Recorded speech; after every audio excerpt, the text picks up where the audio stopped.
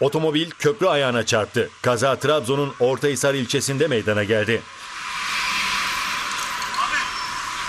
Gece saatlerinde Çömlekçi Mahallesi'nde Mert Aslan yönetimindeki otomobil sürücüsünün direksiyon hakimiyetini kaybetmesi sonucu köprü ayağına çarptı.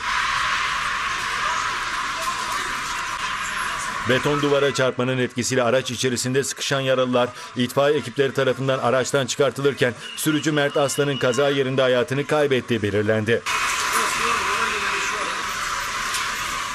Kazada araç içerisinde bulunan lisanslı boks sporcusu Mert Tosun Fatih Devlet Hastanesi'nde, DSİ Karadeniz Spor futbolcusu Berkay Gayretli ise Katü Farabi Hastanesi'nde yapılan tüm müdahalelere rağmen kurtarılamadı.